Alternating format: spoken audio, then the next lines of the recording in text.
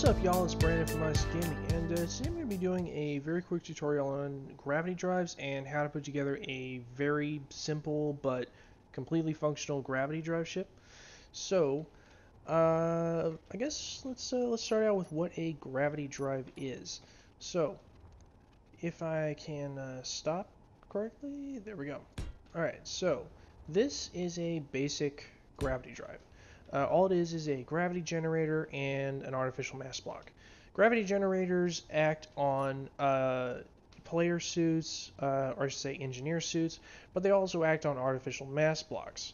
So, if the gravity generator is connected to the same grid that the artificial mass block is in, and the artificial mass block is turned on and there's power going to this, the gravity generator will act on the artificial mass block, creating an acceleration directly in line with the gravity generator itself, not the center of mass. Now, this is actually uh, something important that I need to point out.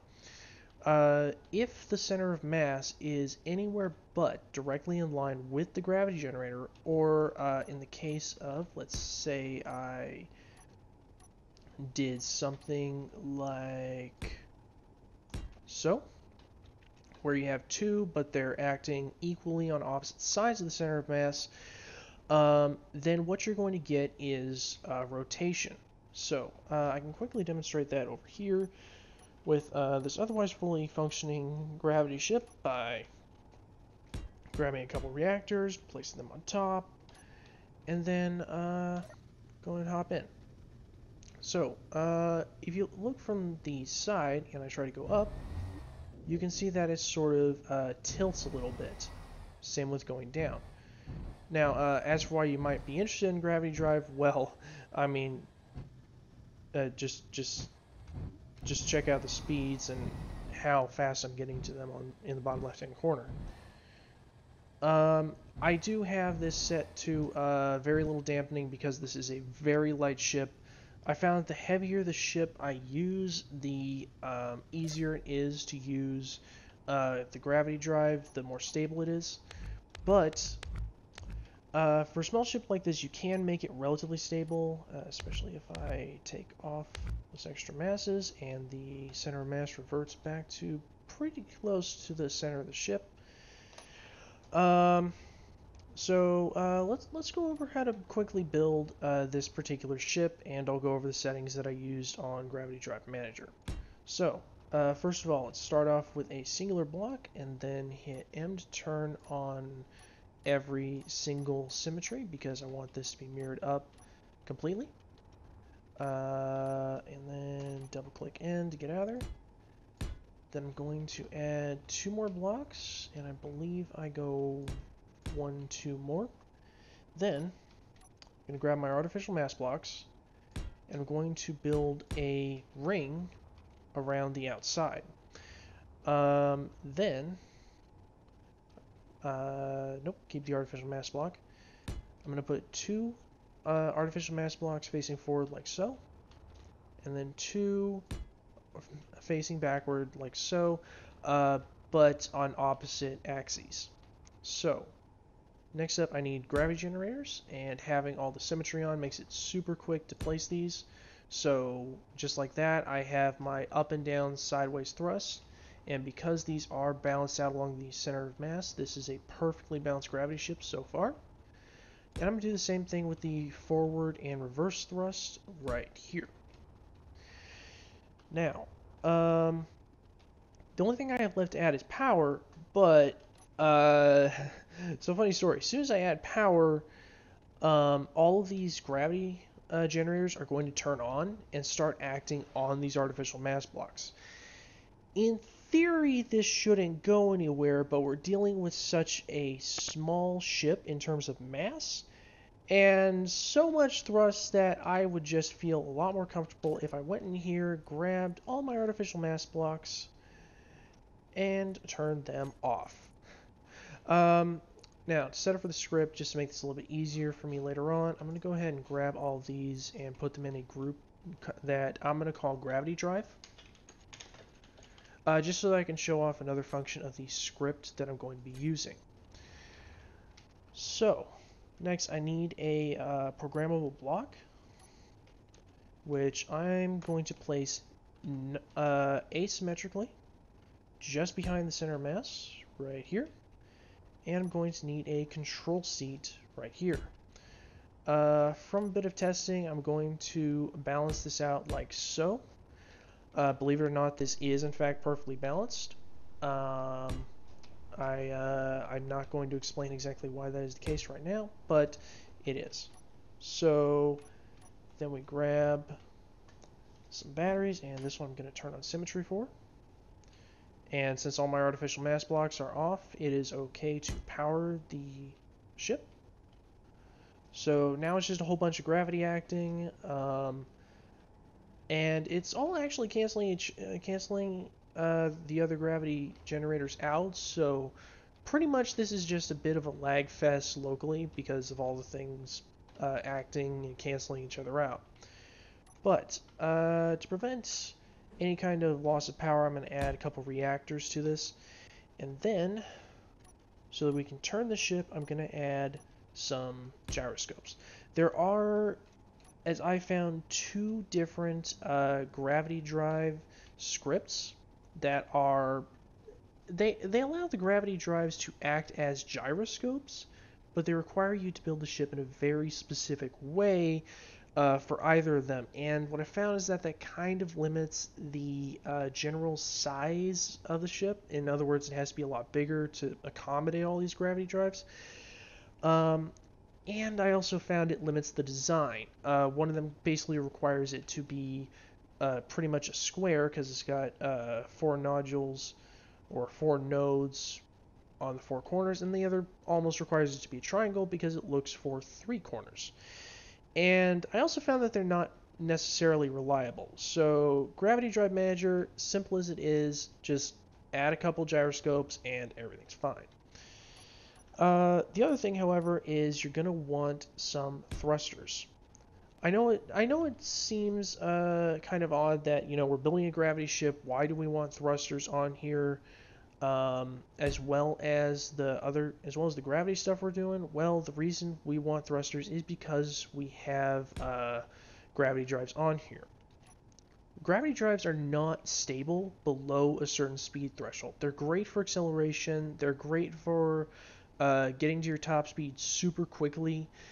Um, but they're not great at very precise, slow movements below a certain speed. So I want thrusters to be able to um, uh, take care of deceleration when it's below that speed. Now, uh, hopping into uh, the pro- well, actually, uh, let me show you something real fast. So the center of mass on the ship is perfectly balanced right in the middle. Uh, if it was, as I showed you before, uh, anything else, you could actually see it by hitting Tab and then going to Info and then selecting Show Center of Mass. Uh, as long as as long as that little uh, marker there is pretty close to the center, then you can usually just add like maybe an armor block here or an interior block there to balance it out uh, wherever you need it to go. So now that's done, uh, let's go ahead and hop in here and set up the programmable block. So let's go to Edit, Browse Scripts, Gravity Drive Manager, copy to Editor. And this is Gravity Drive Manager version 5 that I'm using. Um, and I need to change a couple of the settings here to make it a little bit more stable. So these settings are pretty decent for large ships, but uh, this number right here, um, it's it's going to actually cause oscillations um, just because it's so low. So what I found is that by setting it at 10, uh, sometimes 20, um, but I'm gonna I'm gonna try 15 for this um, it's it will actually um, it, it will actually stop the oscillations that I would otherwise see. Up here, uh, as I said, I'm going to uh, show off another feature of this. Normally, it wants gravity. It wants the group to be called G drive. I'm going to call it gravity drive. uh, just so that you can use your own naming convention with this because um, I noticed that uh, the ship I downloaded from the workshop that uses this, that I kind of learned a little bit of it from, kept the original uh, G drive name. And that doesn't really work well if you have a ship that you might dock to another ship. So, uh, and you know, then you have multiple gravity drives all with the same uh, name. It, it it's it's just a bit of a mess if that happens. So let's go ahead and uh, check code.